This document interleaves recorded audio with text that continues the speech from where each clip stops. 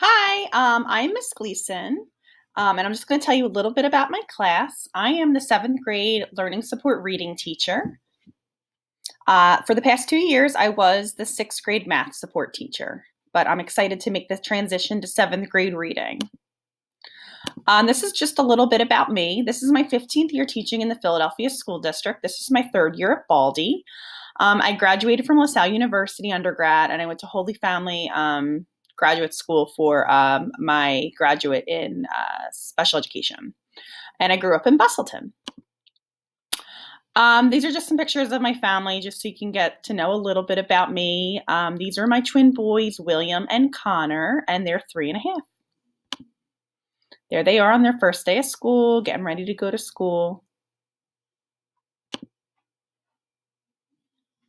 Um, okay, so this year we are going to um, be implementing digital learning plans.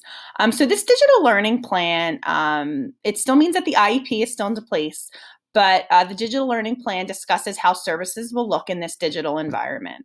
Um, we will be having a team meeting, um, and at the team, team meeting, we'll discuss your child's goals and we will um, talk about the services that your child will be, be receiving. Um, our goal for all this is to make sure that we are providing special education and related services identified in your child's IEP to the greatest extent possible. Um, regular education teachers will receive a copy of this, um, and they did already receive a copy at the IEP gl- at a glance. So that way they know what kind of accommodations and modifications that your child needs. Um, in a push out group, um, so maybe it's a small group instruction group, uh, your child will come to my Google Classroom. It's a link um, in our Google Classroom. Um, during this, they will receive pull out services um, based on their individual reading goals. Um, there's fluency, comprehension, and writing. Um, we'll also be work, doing on quick reads, and our reading intervention that we'll be working with is corrective reading. Um, every two weeks, we will receive progress monitoring, and I'll go um, a little more in depth in that later. Um, what is a pushing group? A pushing group um, is for students that receive in-class support. Um, so what I actually do is for half an hour, which is half the class, half the live class, I push into that classroom and kind of just support them. Um, how can I do that? I can do that through their assignments and write um, comments um, to them and they can write comments back to me. Um, during flex time, they can email, they can write in my Google Classroom, they can set up Google Meets for me if there's any questions or concerns about anything, and they still do receive progress monitoring every two weeks based on their goals. Grades. So, grades is a combination of the regular education class and the pull out class. Um, so, pull out groups will be given one assignment a week, um, and it's all classwork. It's stuff we complete in class, um, and then they turn it in on Friday after our class. Also, um, in a few weeks, we're going to really be starting Achieve 3000, so they will get a grade based on that, um, and that should be done at least every 15 minutes um, at flex time.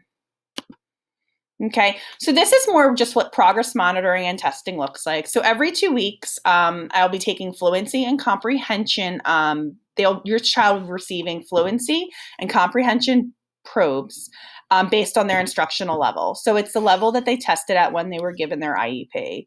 Um, so there's an oral reading fluency probe where they read for one minute, and then there's a reading um, comprehension tool where they answer multiple choice questions and they answer um, open-ended questions. Um, also, when uh, they'll they will be taking an Aimsweb reading assessment, and that's on a seventh grade level because they're in seventh grade, and they take it in the fall, winter, and spring. Um, basically, it just wants to see how they're doing with the seventh grade curriculum and if they're making progress. Um, lastly, they'll be taking it's called a WRAT test. Um, it's a wide range assessment test and it's done online. And this is always given before a reevaluation or an IEP just for a reading level. Okay, these are just some classroom expectations that I shared with my students at the beginning of the school year. I'm going to share with you. Um, just make sure that they're on time. We only have 30 minutes together, so it's really important they're on time. They have to treat everyone with respect. Um, they have to listen and ask questions. Um, I do encourage them to put their camera on. Um, I do want them to try their best and to reach for their goals. Uh, if you need me, you can communicate through Google Class um, or email at cmslowy at uh, philasd.org. Lastly, this is just my welcome letter um, if you did not get to see it, and I'm just really excited to be working with everyone this school year. Please reach out with any questions or concerns.